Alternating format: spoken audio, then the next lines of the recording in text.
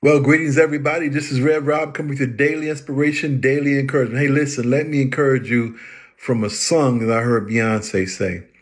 Whether you like her or not, it don't matter. These words, you can't break my soul. You can't break my soul. I want you to be encouraged to know when you have God in you, ain't no devil alive can block your blessings.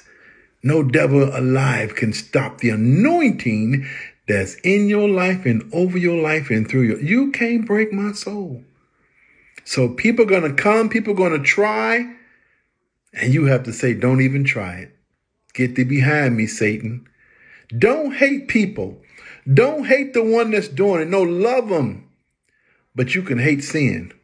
The Bible says, be angry, but sin not. You can't break my soul. Let that be your mantra today. Let that be your words against any and everybody that try to come after your peace.